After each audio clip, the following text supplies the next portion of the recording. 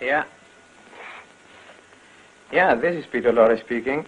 I couldn't resist the temptation to call you. I just read of your new picture that you're to make.